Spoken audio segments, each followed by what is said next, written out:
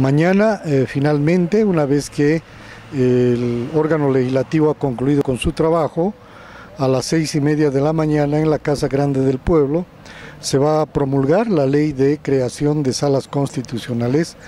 eh, lo que nos va a permitir, eh, primero, desconcentración de la carga procesal en los tribunales departamentales de justicia, porque vamos a contar con salas especializadas